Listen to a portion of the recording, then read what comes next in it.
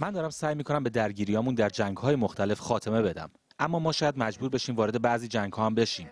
باید از هر وقتی بیشتر آماده باشیم. اگر ایران کاری کنه چنان ضربه ای می‌خوره که تا به حال نظیرش رو ندیده.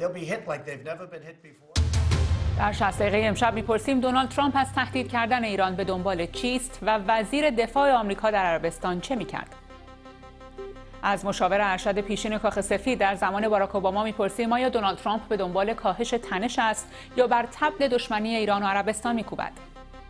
همچنین در برنامه امشب توافق تازه پوتین و اردوغان درباره سوریه در پی خروج شبه نظامیان کرد نیروهای روس و سوری در شمال سوریه مستقر می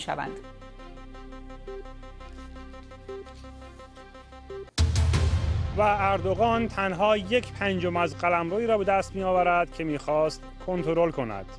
با شما هستم از مرز ترکیه و سوریه. کلیات برگزیت در پارلمان بریتانیا رأی آورد اما جزئیات همچنان در دست بررسی توسط نمایندگان نقش کتاب های درسی در آینده زنان جنسیت تا چه اندازه در برنامه ریزی و سیاست آموزشی مطرح است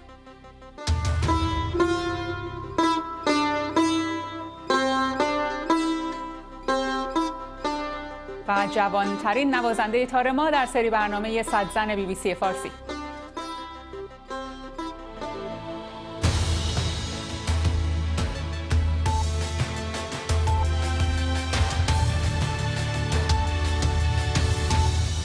شست دقیقه.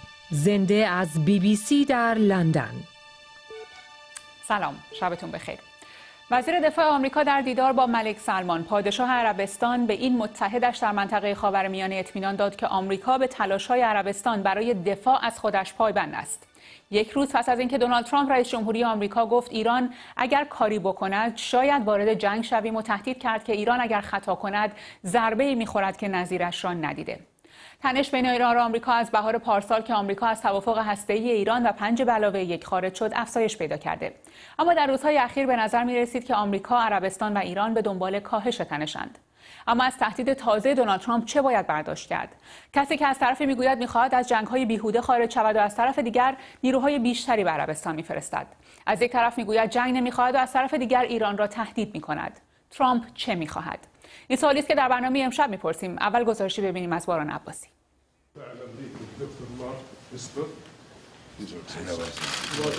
وزیر دفاع آمریکا در عربستان سعودی. دیدار با ملک سلمان و نمایش اتحاد در مقابل ایران. من اینجا هستم تا بر ادامه حمایت آمریکا از پادشاهی عربستان سعودی و تعهد آمریکا به دفاع از شما تاکید کنم.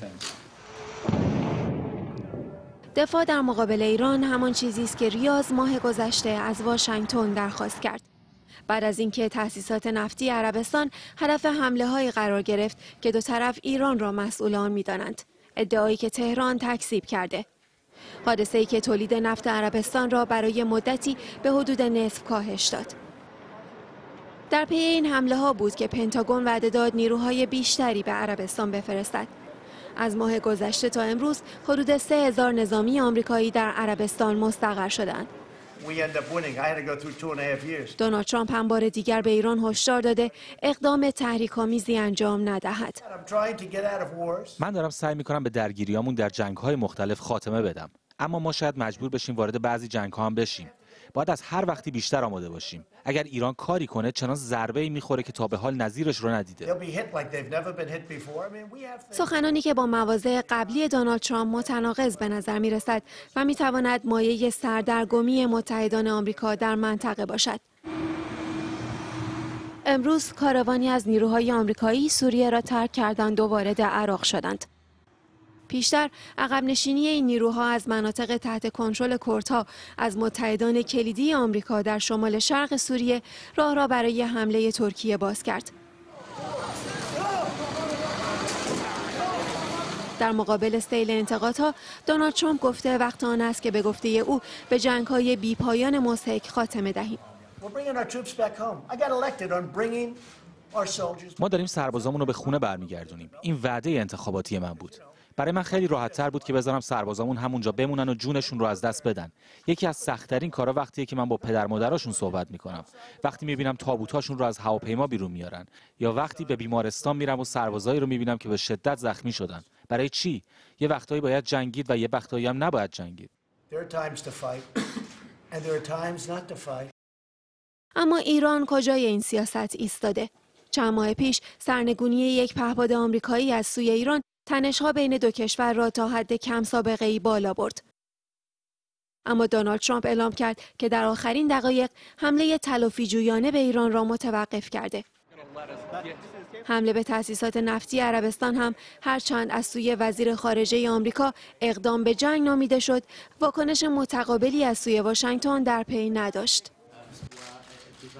بقای ماهای اخیر نشان داده سیاست های دونالد ترامپ در خاور میانه دست کم برای متحدان کلیدیش مبهم است. نماینده آمریکا امروز به نشانه حمایت در کنار ملک سلمان نشست. اما به نظر می رسد در نگاه دونالد ترامپ این همنشینی با حمایت نظامی فاصله زیادی دارد. باران عباسی بی بی سی دنیس راس مدیر سابق دپارتمان سیاستگذاری وزارت خارجه آمریکا از واشنگتن دی سی با ماست. آقای راس در دولت‌های جورج بوش پدر بیل کلینتون و باراک اوباما های دیپلماتیک داشتن و به تازگی کتابی هم نوشتن با نام قوی باش و با جرأت چگونه مهمترین رهبران اسرائیل سرنوشتش را شکل دادند. آقای راس خوش آمدید به برنامه. شما از منتقدان سیاست خارجی دونالد ترامپ در خاورمیانه هستید. فکر می کنید که او در منطقه خاورمیانه به دنبال چیه؟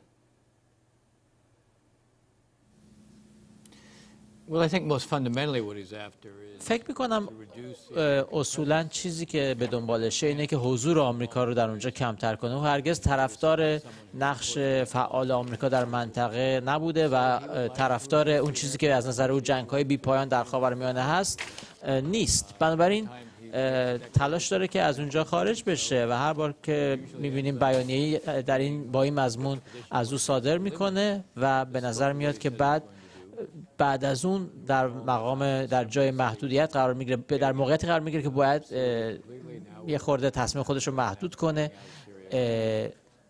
الان گفتش که می‌خواد ما رو از سوریه خارج کنه. و وقتی که این کار کرد در عمل میشه گفتش که چراغ سبز داد به ترکیه که داخل شمال سوریه بشه. و خب فکر می‌کنم که نیت کلیدی و نیت اصلی اونه که اونجا نباشه. ولی خب باید این رو متعادل کنه با منافع آمریکا. آمریکا منافعی داره در اون منطقه و چطور میشه این میل او رو برای بیرون به خانه آوردن سربازان آمریکا از یک سو و از سوی دیگر حمایت از منافع آمریکا محافظت از منافع آمریکا آشتی داد. واقعا چقدر میشه گفت که دونالد ترامپ به دنبال خروج از خاورمیانه است؟ در حالی که از یک نقطه نیروهاش رو منتقل می‌کنه به نقطه دیگه. همزمان که میگه می‌خواد از این جنگ های به قول او بیهوده خارج بشه نیروی بیشتر اعزام می‌کنه به عربستان سعودی.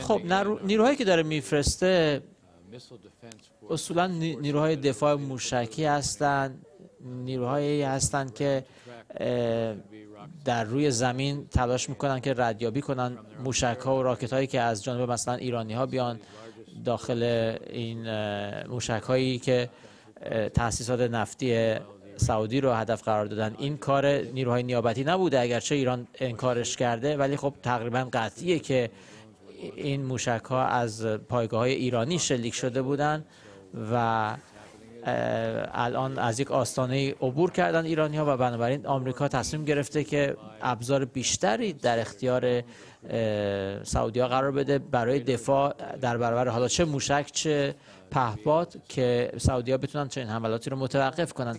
بنابراین فکر می‌کنم این کلا تنافری منافاتی با سیاست ترامپ برای نبودن در آمریکا نباشه این مورد خاص ولی خب نمی‌خواد از طرف دیگر عربستان سعودی از نظر دفاع از تاسیسات خودش تضعیف بشه.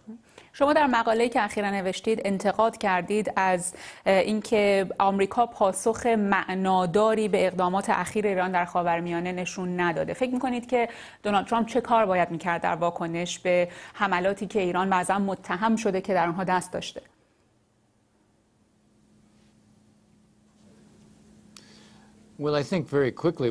فکر می کنم خیلی سریع اون کاری که باید انجام می‌شد این بود که اجازه داده بشه به کارشناسان فنی از سازمان ملل و دیگر جاها که برند و یافتهای خودشون رو از قلمرو ایران جمع آوری کنند و باید در واقع نورافکن رو روی اونها مینداختیم و در واقع این با توجه به اینکه این دولت کنونی آمریکا شاید اعتبار خیلی زیادی نداشته باشه در صحنه جهانی باید به سازمان ملل چنین فرصتی داده می‌شد. و فکر می‌کنم که آمریکا باید خیلی روشن می‌گفت که ما و دیگران آماده هستیم که انتقام بگیریم. اگر نیروهای ایرانی چنین حمله رو تکرار کنند. یکی از فواید انداختن نورافکن روی ایران اینه که اونها رو در موقعیت قرار بدیم که ببینن که مشخص بشه که دیگر نمی‌تونن در این باره دروغ بگن که دروغ هاشون آشکار شده و براشون دشوار بشه که باز به همچین حملاتی دست بزنن. و واقعیت اینه که ایرانی هم باید میفهمیدن که اگر چنین اقداماتی انجام بدن ممکنه یک پاسخ نظامی داشته باشه. و فکر می‌کنم که الان دیگه اینها تهدیدهای پرزیدنت ترامپ رو خیلی جدی نمی‌گیرن. و فکر می‌کنم یکی از دلایلی که اخیرا لفاظهای خودش رو شدیدتر کرده همین باشه. ولی فکر می‌کنم که باید او پیوسته و یک نواخت یک نوا رفتار کنه و نه اینکه افتخیز داشته باشه اینطوری. فکر می‌کنید که همین رفتار دوگانه و افتخیزی که بهش اشاره کردید در میان مدت چه تأثیری بر رفتارهای ایران در منطقه می‌تونه داشته باشه؟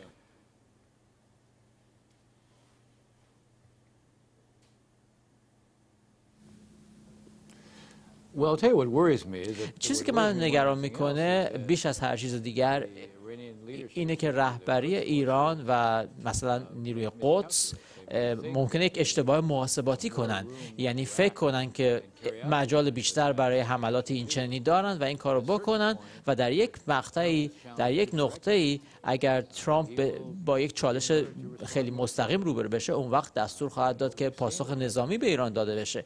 و ما با پرزیدنت ترامپ در گذشته هم دیدیم که او یک تصمیم می‌گیره و ممکنه که متوجه پیامدهای فوری اون تصمیم باشه اما متوجه پیامدهای بعدی اون تصمیم نباشه. بنابراین من فکر می‌کنم که ایران ممکنه که یک مقدار دست خودش رو قوی تر ببینه اشتباه محاسباتی کنه و اون وقت ترامپ رو وادار به کاری بکنه که شاید در وهله اول اصلا نخواد انجام بده و اون وقت این ممکنه که خیلی خطرناک بشه. در واقع به نظر من بزرگترین خطری که الان باش مواجه هستیم اشتباه محاسباتی از جانب ایرانه و شاید هم لفاظی های پرزیدنت ترامپ و نقشی که تصویری که از خودش ارائه میده که ممکنه خیلی یک نواخت نباشه. نقش سوریه رو چطور می‌بینید روسیه رو چطور می‌بینید در تحولات اخیر؟ با توجه به ورودش به مسئله سوریه و همچنین سفری که اخیرا به عربستان سعودی داشت و فروش تجهیزات نظامی به عربستان احساس می‌کنید که آیا داره استفاده می‌کنه از این سیاست خارجی دونالد ترامپ در خاورمیانه بله. فکر می کنم روشنه که ایالات متحده داره یک خلایی رو ایجاد می‌کنه و این خلا رو روسا دارن پر می‌کنن. و البته ترکیه تا و تا حد ایران. ولی روسیه تردید نیست که داره از این قضیه استفاده می‌کنه. تصادفی نیست که به باره آقای پوتین از روس عربستان و بلافاصله بعد از اون امارات درست بعد از حمله به تاسیسات آرامکو بازدید کرده. این در واقع راه اوست شیوه اوست برای اینکه نشون بده اگر آمریکایی‌ها نمی‌تونن از شما محافظت کنن من می‌تونم. و شاید شما بتونید از, ما موشک‌های اس 400 بخرید یا حتی اگر نخرید ما می‌تونیم به شما کمک کنیم. برخلاف آمریکایی‌هایی که فشار اقتصادی روی ایران می‌گذارین ما هم می‌تونیم فشار اقتصادی روی ایرانیا بگذاریم. چون ما کسایی هستیم که بیشترین حضور رو در سوریه داریم. بنابراین یک کاری که روسیه دارن می‌کنن روسیه داره می‌کنه اینه که در واقع به مثلا اسرائیل اجازه میدن که هر وقت که بخوان اهداف مربوط به ایران رو در سوریه بزنن. بنابراین یکی از کارهایی که پرزیدنت پوتین می‌تونه بکنه اینه که نشون بده که می‌تونه تهدیدهایی رو انجام بده علیه ایران اگر بخواد یا راههایی پیدا کنه که تهدیدهای علیه ایران رو کمتر کنه. بنابراین او داره از این اهرم خودش استفاده می‌کنه. و داره استفاده می‌کنه بهره برداری می‌کنه از این موضع پر افت و خیز آمریکا به خاطر اینکه آمریکایی‌ها خواستن که از منطقه خارج بشن. آقای راس مقام های آمریکا دونالد ترامپ مایک پومپئو تاکید دارند که سیاست فشار حداکثری بر ایران موفق عمل کرده. نظر شما هم همینه؟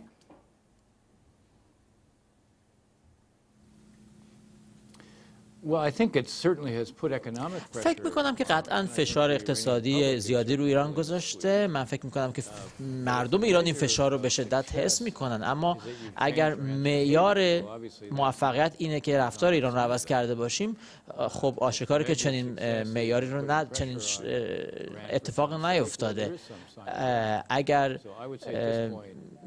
معیار این باشه که ایران حرکتش تا حدی محدود کرده باشه شاید تا حدی بتونیم بگیم در این مقطع اگه بخوایم قضاوت کنیم رفتار ایران رو برخلاف اون چیزی که شاید انتظار داشتیم ایران داره نسخه خودش رو از فشار حد اکثری اعمال می‌کنه بر نه حالا یا آمریکا نه دوستان آمریکا در منطقه در خاورمیانه رفتار ایران از برخی جهات تحریک آمیزتر شده و تغییری هم نکرده. متشکرم. دنیس راست مدیر سابق دپارتمان سیاستگذاری وزارت خارجه آمریکا. رهبران روسیه و ترکیه به توافقی دست پیدا کردند که بر اساس آن نیروهای کرد باید ظرف 150 ساعت 30 کیلومتر از نوار مرزی ترکیه عقب بنشینند. بر اساس توافق رجب طیب اردوغان و ولادیمیر پوتین بر اساس توافق رجب اردوغان و ولادیمیر پوتین نیروهای روسی و سوری حفاظت از منطقه مرزی ترکیه را بر عهده خواهند گرفت و نیروهای ترکیه هم در مناطقی که در چند روز گذشته عملیات انجام دادند به طول 118 کیلومتر در امتداد مرز باقی خواهند ماند.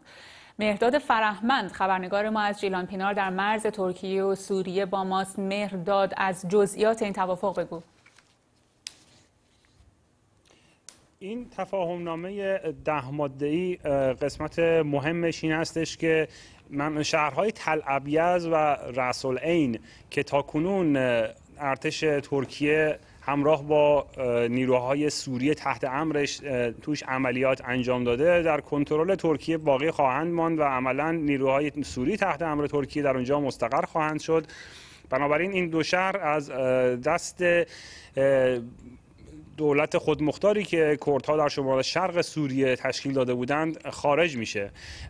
در مجموع یک قلمروی به وسعت اندکی بیش از 2000 کیلومتر مربع در اختیار ترکیه خواهد ماند. یعنی این تفاهم نامه این رو تاکید می‌کنه که وضع موجود در اینجا حفظ خواهد شد.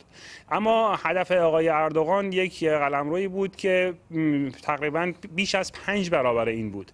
در بقیه این قلمرو این یک تیکه قرار استش که ارتش ترکیه ارتش سوریه و ارتش روسیه یا به طور مشخص نیروهای مرزبان سوریه و پلیس نظامی روسیه وارد بشند و کنترل بقیه این منطقه رو اونها به دست بگیرن و در کنترل مرز ترکیه رو اونها به دست بگیرن و نیروهای شبه نظامی کرد تا عمق ده کیلومتر عقب برند. که این عمق ده کیلومتر رو هم بر اساس پیمان آدانا تعیین کردند پیمانی است که 20 اندی سال پیش میان سوریه و ترکیه بسته شد که به ترکیه حق داد که در تعقیب نیروهای پکک حتی بتونه وارد خاک سوریه بشه. گرچه این هشت سال گذشته ترکیه به خاک سوریه تجاوز کرده عملا بر اساس موازین بین‌المللی بارها بارها و حتی در اونجا قلمرویی رو افراد نیروهای تحت امرش رو حاکم کرده و سوریه این پیمان آدان رو نقض شده به حساب می آورد اما در این تفاهم که امروز بسته شده میان آقای پوتین و آقای اردوغان این تفاهم دوباره جان گرفته. بنابراین اگه بخوایم نگاه بکنیم ببینیم که این عملیات تا کنون به کجا رسیده. میشه گفتش که آقای اردوغان رسیده به یک پنجم آن چیزی که می‌خواست.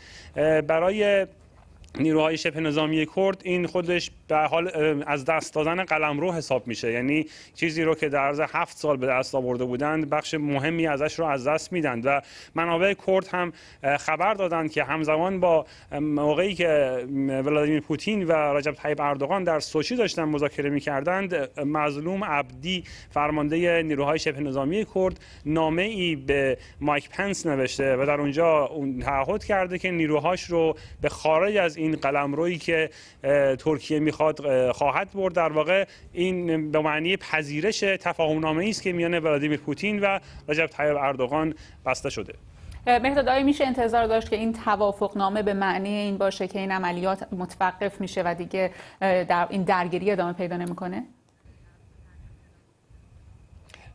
به هر حال این فاز بعدی این عملیات حساب میشه از یک دید که قرار از ظهر فردا شروع بشه به مدت 150 ساعت. اراده ای در هیچ کدوم از طرف های درگیر دیده نمیشه برای نقض این. یعنی که نه همونطور که گفتم با این نامه ای که مظلوم عبدی نوشته مشخص میشه که شبه نظامیان کرد قصد مقاومت ندارند. و سوی دیگه هم این راه حل بینابین نیست که طرفین رو هر کدوم رو به بخشی از خواسته هاشون میرسونه و برنده مهم در اینجا اونطور که الان هم دارند در رسانه های مختلف روش بحث میشه. بیشتر روسیه رو می‌بینند که به نوعی نفوذ خودش رو با این تفاهم نامه تقویت کرد و الان نیروهاش اومدن جانشین نیروهای آمریکایی میشند و در واقع برای نخستین بار اینجا روسیه از رود فرات هم میگذره وارد شرق فرات میشه میاد پشت خاک ترکیه پشت مرز ترکیه موضع می‌گیره. مناطقی رو که شبه نظامیان کرد با جان دادن و خون دادن در عرض چند سال به دست گرفته بودند. ارتش سوریه میاد و اونها رو در کنترل خودش می‌بره. این در واقع عملیات آقای اردوغان به نظر می‌رسه که بیش از همه به سود روسیه و سوریه تمام شد. متشکرم. مهداد فرهمند خبرنگار ما. و اما نمایندگان مجلس بریتانیا کلیات لایحه توافقنامه برگزیت را تایید کردند. این اولین بار است که بعد از بارها تلاش کلیات لایحه مربوط به خروج بریتانیا از اتحادیه اروپا در مجلس عوام تصویب می شود گفتگوها همین لحظه کماکان ادامه داره اما نمایندگان گفتند که سه روز مهلتی که برای بررسی جزئیات این لایحه در نظر گرفته شده کمه و بررسی این لایحه به زمان بیشتری نیاز داره. حالا قرار بر این بود که نمایندگان تصمیم بگیرند که ظرف سه روز لایحه رو بررسی بکنند یا نه. بوریس جانسون نخست وزیر گفته بود که اجازه نمیده که فرایند بررسی لایحه چند ماه دیگه به درازا بکشه. خبرنگار ما بهرنگ تاجدین از مقابل پارلمان بریتانیا با ماست. بهرنگ قرار بود که اون برنامه زمانی هم به رأی گذاشته بشه. نتیجهش های مشخص شد؟ نتیجهش این بود که دولت شکست خورد. رنا امشب شبی تاریخی در این فرایند سه سال و چند ماهه که از زمان برگزاری همه پرسی خروج بریتانیا از اتحادیه اروپا شاهدش بودیم. امشب شبیه که برای اولین بار اکثر نمایندگان مجلس بریتانیا به یک توافقنامه خروج این کشور از اتحادیه اروپا حداقل به صورت کلی رأی موافق دادن. با اختلاف نسبتا بالایی هم رأی موافق دادن. با اختلاف 30 رأی 329 رأی موافق در مقابل 299 رأی مخالف. اگه خاطرتون باشه چند ماه پیش وقتی که برای سومین و آخرین بار ترزا می توافقنامه ای رو توافقنامه قبلی خروج رو به مجلس برد با اختلاف 58 رای شکست خورد. در نتیجه این می‌تونه پیروزی بزرگی برای بوریس جانسون نخست وزیر بریتانیا باشه که اصولا با شعار انجام برگزیت در تاریخ 31 اکتبر به گفته ایشون حتی اگه از آسمون سنگ بباره به سر کار اومده بود. ولی درست دقایقی بعد از این پیروزی بزرگ برای دولت و بوریس جانسون نماینده ها با اختلاف حدود 14 رای با جدول زمانی پیشنهادی دولت برای تصویب این لایحه در مجلس عوام مخالفت کردند. ببین یک لایحه 100 صفحه‌ای با چند صد صفحه هم زمیمه داره و دولت می‌خواست این ظرف سه روز در مجلس عوام بررسی بشه و مجلس ایام فرستاده بشه تا آقای جانسون بتونه پنجشنبه هفته آینده یعنی نه روز دیگه بریتانیا رو از اتحادیه اروپا خارج کنه. ولی خیلی از نماینده ها حتی اونهایی که در کل با خروج بریتانیا از اتحادیه اروپا موافقند با این توافق خروج موافقند با این لایحه موافقند گفتن که انقدر این لایحه جزئیات داره و انقدر تاثیر دراز مدت ممکنه داشته باشه که حاضر نیستن عجله کنن و تو سه روز خیلی سریع اینو حل کنن. ببین 45 سال پیش لایحه مشابهی در مجلس بریتانیا به تصویب رسید که بریتانیا رو برای اولین بار برد تو اتحادیه اروپا. خیلی از طرفداران برگزیت بعد از 45 سال حتی همین امروز هنوز دارن در مورد اون قانون حرف می‌زنن. در نتیجه اهمیت این لایحه‌ای که امروز دولت به مجلس آورده بود در اهمیتش هیچ جور شکی نیست. پس شاید سالها و دهه ها ما در بله. مورد این لایحه حداقل در بریتانیا حرف بزنیم. اشاره کردی به مخالفت های یکی از نمایندگان معترض گفته بود که من و زنم برای اینکه بخوایم مبل بخریم بیشتر از سه روز وقت می‌ذاریم. نمی‌تونیم یه همچین لایحه ای رو در سه روز تصویب بکنیم. حالا الان با توجه به اینکه در مرحله دوم بوریس جانسون شکست خورد و 31 اکتبر پنجشنبه هفته آینده است چه اتفاقی میفته یعنی 31 اکتبر به هر حال بریتانیا از اتحادیه اروپا خارج نخواهد شد. ممکنه بشه ممکنه نشه. آقای جانسون بعد از اینکه در واقع نتیجه این رأیگیری اعلام شد گفت که بررسی این لایحه رو فعلا متوقف می‌کنه. یعنی لایحه رو قبلش گفته بود اگر که با جدول زمانبندی موافقت نکنن نماینده ها پس می‌گیره. در صورت که بعد از اعلام نتیجه گفتش که فعلا بررسی رو متوقف می‌کنه تا ببینه اتحادیه اروپا در مورد درخواست بریتانیا برای تعویق برگزیت چه تصمیم می‌گیرن.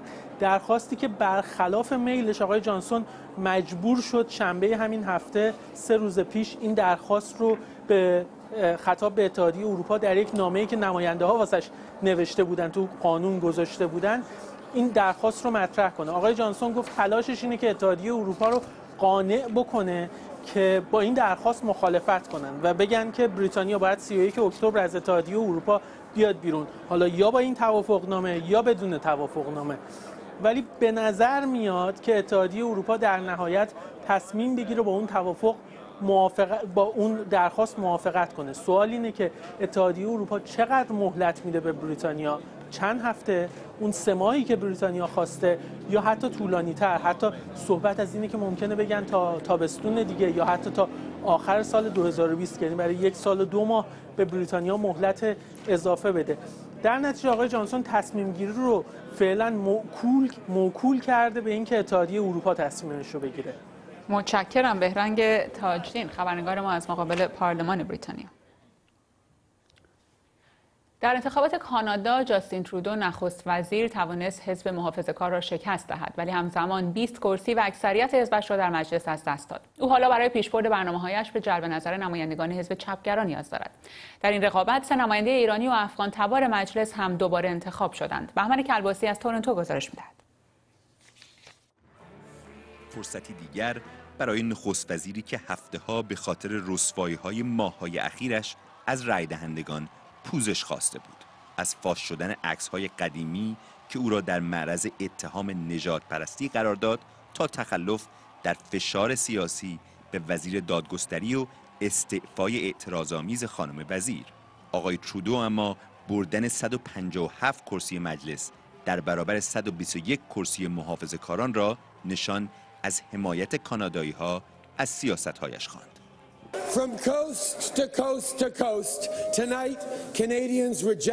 کانادایی ها در سراسر کشور به منفی بافی و اختلاف پراکنی کاهش بودجه خدمات و ریاضت اقتصادی دست رد زدند و در مقابل به برنامه مترقی و گام های محکم برای مبارزه با تغییرات اقلیمی رأی دادند. اندرو شیر رهبر حزب محافظه کار ولی تاکید کرد کاهش تعداد کرسی های حزب حاکم جاستین ترودو گام نخست برای شکست نهایی اوست. غلبه جاستین ترودو و حزب لیبرالش بر رقبای محافظه کار اما از دست دادن اکثریتش در مجلس کانادا روایت یک پیروزی ناتمامه. یکی از نمادهای این پیروزی ناتمام آقای ترودو رقابت به شدت نزدیک همحزبیش مجید جوهری نماینده ایرانی تبار مجلس با کاندیدای حزب محافظه کار بود که آقای جوهری و حامیانش را پاسی از شب در نگرانی و انتظار نگه داشت. او در نهایت با اختلاف فقط 112 رأی از بیش از چهل هزار رأی اخذ شده کرسی نمایندگیش را حفظ کرد. چند محله آن طرفتر دیگر نماینده ایرانی تبار هم البته با اختلافی چشمگیر دوباره به مجلس راه یافت. فکر می کنم دوره اول با در نظر گرفتن اینکه واقعا مثلا مهم بود که های مختلف پارلمانی رو یاد بگیرم شاید اون کارایی لازم رو نداشتم ولی مطمئن هستم که در دوره دوم بالاخره این سوابق و این تجربیات کمک می‌کنه که به مراتب آدم بتونه بتونه تاثیرگذارتر بشه احساسی هم گفتند این رأی نشانی مثبت برای مهاجران در کانادا است. اینو نشون میده که هنوز برخلاف امریکا اعتقادات ضد مهاجر توی اینجا برنده نشده و هنوز رأی اکثریت رو نداره. مریم منصف وزیر افغان تبار دولت ترودو هم از شهر پیتربرو با چهار درصد اختلاف برای بار دوم به مجلس راه یافت. پایان رقابتی چهل روزه که نتیجهش سختتر شدن کار برای نخست وزیر کانادا است چرا که حالا او به حزب چپگرای معروف به دموکرات های نو برای رسیدن به اکثریت در مجلس نیاز دارد. مرسی مرسی بهمنی کلباسی بی بی سی تورنتو. رادیو تلویزیون دولتی ایران پخش آگهی ها را در شبکه های نهال و پویا ممنوع کرده. دو شبکه‌ای که مخاطب اصلیشون کودکان هستند. رئیس شبکه کودک صدا و سیمای ایران گفته این تصمیم پس از اعتراض خانواده ها صورت گرفته. چندی پیش گروهی با اعتراض به پخش تبلیغات در شبکه های کودک از تلویزیون ایران خواسته بودند که پخش آگهی ها را در این کانال ها متوقف کند. کاوه مشکات گزارش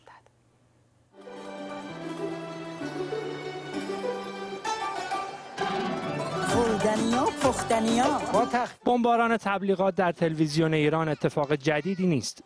درآمد میلیاردی از این طریق باعث شده رادیو تلویزیون دولتی ایران از هر فرصتی برای تبلیغات استفاده کند. تعرفه های آگهی هر شبکه فرمولی پیچیده دارد اما پخش تبلیغ پیش از فوتبال زنده یا برنامه های پربیننده گرانترین قیمت را دارند.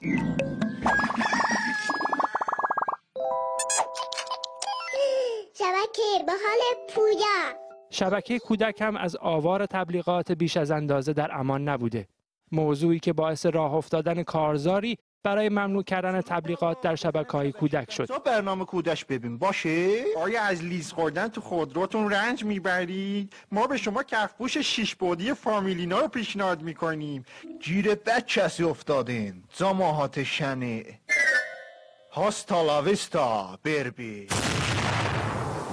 گروهی از محتوای نامرتبط آنها انتقاد کردند و برخی دیگر هم نشان دادن تصاویری این چنینی را دامن زدن به فاصله طبقاتی دانستند. محمد سرشار مدیر شبکه کودک صدا سیما ایران هم در مقابل گفت که او چاره ای جز پخش تبلیغات ندارد که آگهی بازرگانی دست مدیران شبکه ها نیست بله.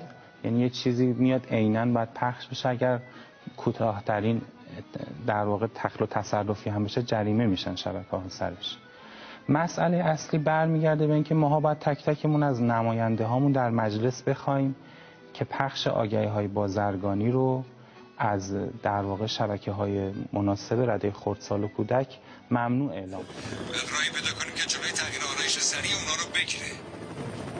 فهمیدم. چی رو؟ می‌تونیم خرچنگا رو مثل خر تو گلگیر بندازیم. حالا مدیر شبکه کودک صدا سیما ایران که خودش هم یکی از مخالفان پخش آگهی در دو شبکه نهال و پویا است گفته از فردا در این دو شبکه آگهی پخش نخواهد شد از فردا یکم آبان 98 شبکه کودک یک گام بلند دیگر را برای بهتر شدن و نزدیکتر شدن به الگوی رسانه مربی برمیدارد. شبکه کودک بدون تبلیغات بازرگانی از فردا آرزویی که شبکه کودک خانواده ها و کارشناسان دست در دست هم به دنبال آن بودن محقق می شود و بنا به مصوبه شورای معاونان سازمان صدا و سیما و دستور معاون سیما پخش آگهی های بازرگانی از شبکه کودک متوقف خواهد شد. اقتصاد مصرفی ایران فعلا دست از سر کودکان دست کم در صدا و سیمای ایران برداشته است. اما تبلیغات همچنان در کوچه و خیابان به دنبال آنهاست کاوه مشکات بی بی سی.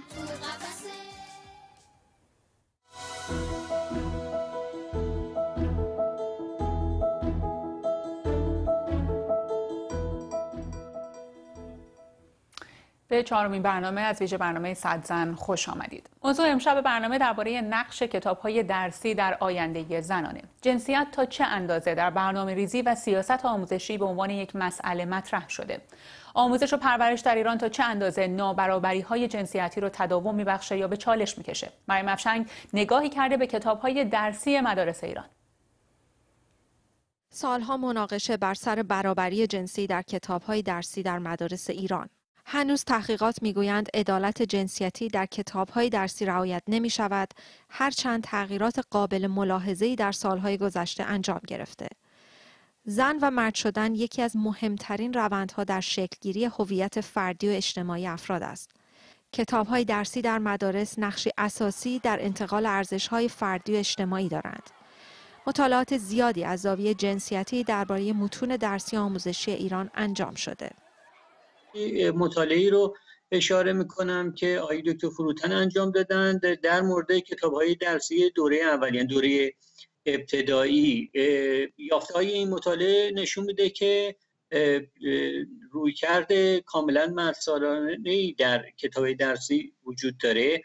این مطالعه نشون میده که در کل کتاب درسی دوره ابتدایی 73 درصد اسامی که مورد استفاده قرار گرفته اسامی مردان بوده و فقط 26 درصد اسامی زنان بوده. از کل تصاویری که مربوط به فعالیت های ورزشی هست فقط 8 درصد 8 تا 8 دهم درصدش یعنی نزدیک 9 درصدش فعالیت ورزشی زنانه و 91 درصد فعالیت ورزشی پسران و مردانه. کلیشه های جنسیتی در کتاب های درسی اکثرا در علوم انسانی و اجتماعی نمود پیدا کرده. یکی از اون کتاب ها این کتاب مدیریت خانواده و سبک زندگی پایه دوازدهم دوره متوسطه. این کتاب مخصوص پسرانه. در این کتاب تاکید بر ازدواج اون هم به شیوه سنتی با رضایت خانواده و رفتن به خواستگاری. امید پسریه که تحصیلات دانشگاهیش تموم شده و حدودا سی سال سن داره. اهل ازدواج نیست و تمام اهالی خانواده تصمیم دارن که برای زن پیدا کنن. اما بریم ببینیم همین کتاب مخصوص دخترها چطور طراحی شده. در بخشی از این کتاب که داره به زندگی مریم دانش آموز مدرسه اشاره می‌کنه که در فصل امتحاناته که خاله براش خواستگاری معرفی می‌کنه.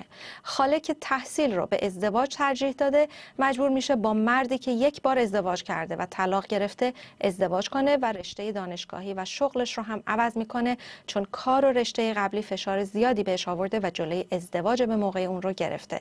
در این کتاب مدام به دختران یادآوری میشه که نباید خواستگاراشون رو با بهانه های مورد از دست بدن. در بخشی از کتاب اومده که برای تحصیل تا آخر عمر فرصت هست اما فرصت طلایی ازدواج شما به زودی سپری میشه و آثار مخربش باقی میمونه.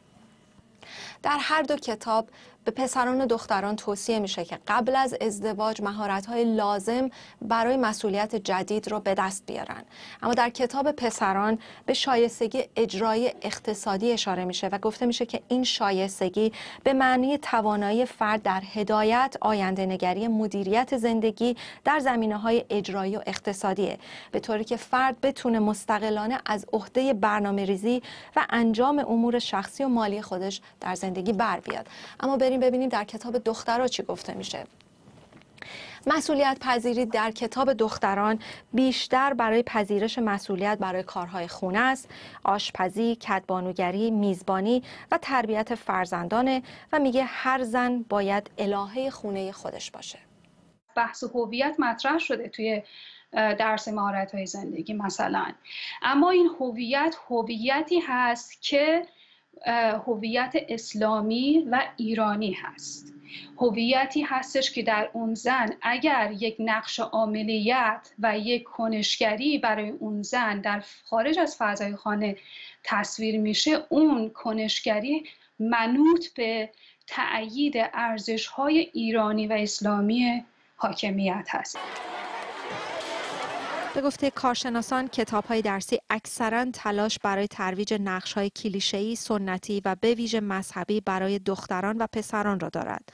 اما ترویج این کلیشه ها چقدر در جایگاه آینده زنان مؤثر است؟ اگر قرار باشه که آموزش ما صرفا محدود بشه به همون متون درسی با دیدگاه هایی که از طرف دولت القا میشه و در واقع نفوذ پیدا می‌کنه تو محتوای درسی ما. در واقع توی یک سیستم بسته یک چارچوب بسته ای ارائه میشه که دولت داره اون ترویج می‌کنه و این قطعا روی نگاه دخترای جوان ما تاثیر خواهد گذاشت. اما ما از اون اتفاقی که داره تو بطن جامعه میفته از اون تفاوت ها در سلیقه تفاوت ها در پوشش تفاوت ها در رفتار رفتار این دخترای جوان می‌فهمیم که آموزش فقط از طریق سیستم آموزش رسمی کشور انجام نمیشه. آموزش به طور غیر رسمی هم هست از مجاری مختلف از کانال های ارتباطی مختلف که می‌تونه تاثیر خودش رو بذاره روی ساخت هویت روی نگاه همه این دختران نسبت به نقش هایی که خودشون می‌تونن در آینده کشور ایفا بکنن. کتاب های درسی در سالهای گذشته تغییرات زیادی کرده و شاید نسبت به گذشته نقش های اجتماعی بیشتری برای زنان در نظر گرفته باشد. اما علیرغم همه تغییرات ترجیح دستندرکاران نظام تربیتی ایران همان ترویج نگاه اسلامی سنتی است که نقش زن را در خانه و به عنوان مادر و همسر پررنگتر از نقشی در جامعه می‌داند. نگاهی که به گفته منتقدانش باید بازنگری شود و سهمی مساوی برای نیمی از جمعیت در آن در نظر گرفته شود. مریم افشنگ بی بی سی برای بررسی بیشتر این موضوع نادره شاملو مشاور ارشد پیشین بانک جهانی از واشنگتن با ماست و همچنین سعید پیوندی استاد جامعه شناسی در دانشگاه پاریس و کارشناس آموزش عالی. خوش آمدید به برنامه آقای پیوندی. شما بررسی کردید نظام آموزشی ایران رو و روند تغییر رو. ارزیابیتون از شکل تغییر محتوای کتاب های آموزشی در سالهای گذشته چیه؟ من فکر می‌کنم در واقع همونجوری که در آخرین مقاله هم که در یک کتابی در امریکا چاپ شده در مورد آموزش زنان در ایران من یک فصلی در مورد تصویر زنان در کتاب های درسی نوشتم نشون دادم. در واقع آخرین روایت کتاب های درسی ایران یه بهبود اندکی در موقعیت زنان دیده میشه. برای مثال اگر در گذشته چهار شغل در حوزه های آموزشی بهداشتی کشاورزی و صنایع دستی فقط کتابای در کتاب درسی برای زنان وجود داشت. در کتاب های جدید زن دانشمند زن ورزشکار زن نماینده و زنی که در هتل کار می‌کنه هم در تصاویر کتاب درسی ظاهر شدن. ولی در مجموع وزن در حقیقت حضور زنان در محیط کار در محیط در واقع سیاسی در محیط اجتماعی مانند گذشته بسیار کم هست در مقایسه با مردان و این مردان هستند که در حقیقت نیروی برتر جامعه هستن و این فرودستی زنان حتی توجیه شده در گزارش شما هم به دقت به این موضوع اشاره شده بود. یعنی اینکه زنها در واقع شهروند ثانوی هستن و نقش مادری خواهری همسریشون اهمیت داره این در هنوزم در کتابهای درسی میشه گفت گفتمان مسلط هست. خانم شاملو فکر می‌کنید که این نگاه ایدئولوژیکی که در کتاب های درسی وجود داره چقدر تاثیر داره در مسیری که زنان در آینده برای خودشون انتخاب می‌کنن؟ اول از همه خواستم سلام بکنم به شما و به بینندگان عزیز. این خب خیلی از پژوهش های مختلف من جمله پژوهش های آقای پیوندی نشون میده که این خیلی مهمه برای اون که آدم خود باوری داشته باشه و اینکه بدونه خودشو پیش بینی بکنه که کجا تا چه حدی می‌تونه ترقی بکنه. برای این اصلا تموم فکر کنم همین قدرتی که تمام کشورها الان دارن پشت این می‌ذارن که این چیز جنسیتی این این شکاف جنسیتی رو در کتاب های درسی در موارد درسی خیلی کم بکنن. و دلیل اون اینه که بیشتر و بیشتر معلوم میشه که این اهدافی که تمام مجمع همین کشورها در واسه خودشون گذاشتن در کاهش فقر و اینجور چیزا مربوط میشه به اینکه ما تا چه حدی بتونیم از به قوه خانم ها استفاده بکنیم. آقای پیوندی شما فکر می‌کنید که آیا نظام آموزشی ایران موفق بوده در ایجاد این نگاه در زنها که احساس بکنن ناتوانتر از مردان چون به حال تنها جنبه رشد یک فرد در جامعه نظام آموزشی نیست رسانه هست خانواده هست پیام هایی که از جامعه می‌گیره. بله کاملا در واقع نکته خیلی مهم جامعه شناسانه است. یعنی در حقیقت جوانای ما دختر و پسر فقط از مدرسه یاد نمی‌گیرن خوشبختانه و می‌تونن در حقیقت در محیط خانواده در محیط دیگه در واقع تجربه های دیگه رو زندگی بکنن به شناخت های دیگری. دسترسی پیدا بکنن ما کافیه که به آمارهایی که در ایران موجود هست مراجعه بکنیم و ببینیم که تا چه حد در واقع بین درکی که در کتاب های درسی وجود داره و واقعیت جامعه ما تفاوت هست. ببینید ما در زمان در سال 57 در حقیقت 28 درصد دانشجویان ما دختر بودن در حالی که الان حدود 47 درصد دانشجوی ما خصوص در دانشگاه دولتی دختر هستن و در اون زمان ما 150 هزار تحصیل کرده دانش آموخته آموزش عالی زن داشتیم. الان بیش از 7 میلیون دانش آموخته زن داریم. یعنی در واقع همه اینها نشون میده که اون چی که در کتاب درسی به بچه ها گفته میشه دقیقا همون چی نیست که بچه ها درونی می‌کنن و این شکافی که بین هویت زن در کتاب های درسی و موجوده و هویت واقعی زنایی که امروز از طریق پویایی جامعه به دست اومده این یکی از شکاف های اصلی جامعه ایرانه. یعنی شما اگه به بازار کار نگاه کنید با وجود همه محدودیت هایی که هست در بازار کار علمی در بازار در پزشکی در بسیار از رشته ها زنها امروز گوی و از مردها رو بودن با وجود همه مشکلات ساختاری که در بازار کار ایران وجود داره. و این متاسفانه به جای اینکه کتاب های درسی دست کم آینه جامعه ایران باشه فاصله بسیار زیاد داره با نه تنها ذهنیت امروز جامعه ایران و زنان بلکه با واقعیت های روزمره ای که دخترها و پسرها در جامعه ایران با اون زندگی می‌کنن. خانم شاملو بسیاری از منتقدان داخلی و اصولگرا در ایران به طرح 23 و آنهایی که نمی‌خواستند ایران به 23 به پیونده یکی از مسائلشون با اون طرح این بود که این طرح تلاش می‌کنه که یک برابری جنسیتی بین زن و مرد ایجاد بکنه و با اون مخالفت می‌کردند. در نبود چنین طرحهای جامع و بین المللی فکر می‌کنید که جامعه ایران و جامعه پویای ایران که به دنبال این برابری چیکار می‌تونه بکنه؟ اول از همه می‌خوام بگم که این اجلاس بانک جهانی که دو هفته پیش تم... این هفته پیش تموم شد و اجلاس سازمان ملل که ماه پیش تموم شد خیلی تعجب آور بود که در هر از هر کشوری سران هر کشوری می اومدن و در مورد برابری زن و مرد صحبت می‌کردن و از این موضوع خیلی استقبال می‌کردن و خیلی پشتیبانی می‌کردن. در صورتی که مثلا خب آقای در همین آقای رئیس جمهور ما این صحبت رو نکردن.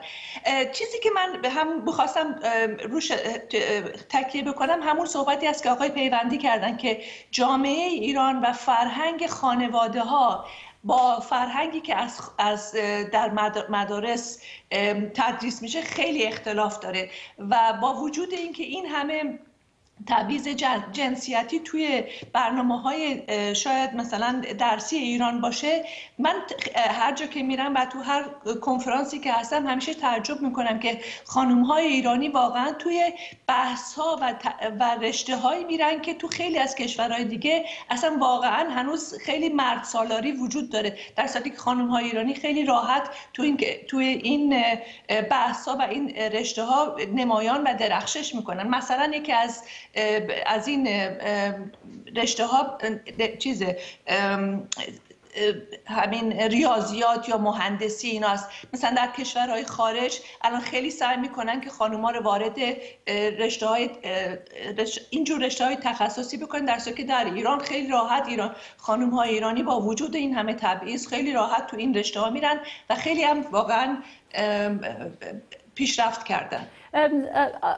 آقای پیوندی درسته که خروجی دانشگاه های ما در مقایسه با سالهای گذشته به نسبت برابری جنسیتی بیشتری میشه درش دید. اما در سطوح مدیریتی ما شاهد یک ریزش هستیم. می‌بینیم که زنان بسیاریشون به محض اینکه لیسانس فوق لیسانس دکتراشون رو که می‌گیرن خیلیاشون ترجیح میدن که دوباره تصمیم بگیرن بعد از این همه سال تحصیل تصمیم می‌گیرن برن خاندار بشن. و خانواده داشته باشن. فکر می‌کنید که علت چیه که بسیاری از زنان با وجود اینکه این مدارج عالی تحصیل رو طی می‌کنند اما به سطوح بالای مدیریتی نمی‌رسن؟ در واقع این یکی از همون نکات خیلی اساسی درک جامعه امروز ایران و تفاوتی که بین ساختارهای در واقع سنتی و بسته و ذهنیت متحول شده جامعه ایران وجود داره. نظام آموزشی در حقیقت تا حدود زیادی جلوی زنها رو برای پیشرفت نمی‌گیره. یعنی اونا می‌تونن در اکثر حوزه بجود در اون حوزه‌ای که مقدار محدود شده براشون پیشرفت بکنن. ولی به محض اینکه اونها وارد بازار کار میشن این صدها و این مشکلات در مقابلشون هست و بسیاری از مشاغل هنوز مردانه نشدن و هر جایی که جایی برای پیشرفت زنها بوده زنها تونستن پیشرفت کنن. حوزه پزشکی ما امروز دو سوم پزشکان ما زن هستند در حوزه علوم علوم در حدود 60 درصد فارغ التحصیلان ما زن هستند و بسیار از محققین ما زن هستند. این اتفاقی نیست که مریم میرزاخانی به عنوان اولین زنی که بزرگترین جایزه ریاضی را در دنیا برد ایرانی بود و این هم اتفاقی نیست که خیلی از زنان ایرانی که در کار تحقیق هستند به ناچار ایران رو ترک می‌کنن برای اینکه عازم کشور خارجی بشن متاسفانه برای اینکه در ایران این بازار کار براشون وجود نداره. یعنی ساختار کارخانه های ما ساختارهای مدیریتی ما به شدت مردانه موندن و در واقع در این مردانه بودن بازار کار ایران هیچ خلالی در به خصوص بخش های مدیریتی متاسفانه ایجاد نشده. برای اینکه اونجا دولت هست که تصمیم می‌گیره. ولی در بخش خصوصی ما شاهد پیشرفت بیشتری زنها بله. هستیم. برای اینکه در حقیقت در بخش دولتی نه تنها زنها نمی‌تونن راه پیدا بکنن حتی مردانی هم که متحد نباشن و به اندازه کافی در واقع به ارزش های حکومتی نزدیک نباشن نمی‌تونن راه پیدا بکنن. به همون دلیلی که در واقع یه نظام راندخار در واقع محدود کننده وجود داره که نیروی انسان ایران متاسفانه در حوزه مدیریت بسیار فقیر می‌کنه. و اتفاقاتی که منفی که در ایران میفته بخشی هم به همین ضعف و فقر مدیریتی برمیگرده و عدم راهیابی 50 درصد زنان ایران و بهترین استعدادهای زن ایران به بخش‌های مدیریتی بله. متشکر از هر دوی شما سعید پیوندی استاد جامعه شناسی و نادره شاملو مشاور ارشد پیشین بانک جهانی زنی بود که برای رسیدن به هدفش از مخالفت ها نترسید. آلنوش تریان راهی را که خواست ادامه داد و اولین زنی شد که به کرسی استادی فیزیک دانشگاه تهران رسید. خانم تریان نه سال پیش در 90 سالگی درگذشت. نعیمه نامجو در گزارشش نگاهی کرده به زندگی زنی که از او به عنوان مادر نجوم ایران یاد می‌کند.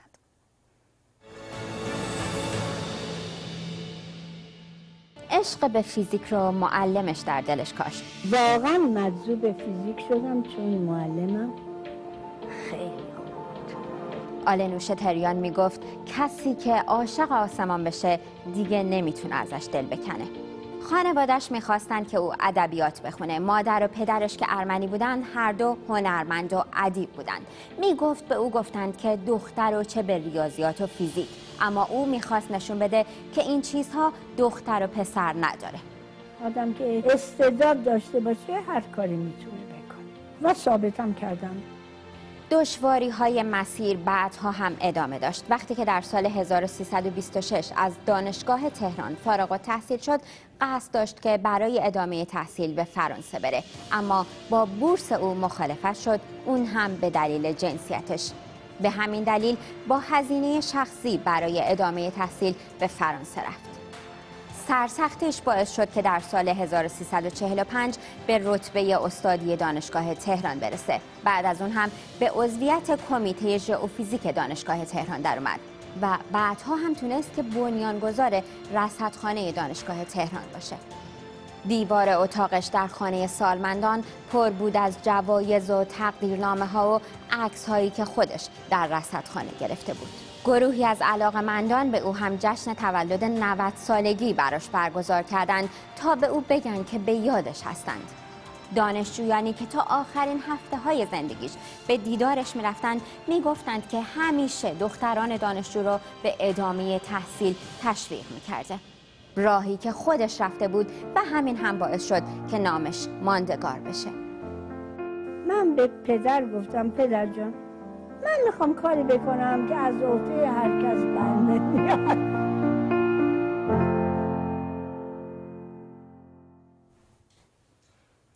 همونطور که در شبهای قبل هم دیدید هنرمنده و نوازنده های مهمان ما اغلب جوانهایی هستند که تازه نوازندگی رو شروع کردند و به نوعی نسل آینده زنان هنرمند هستند.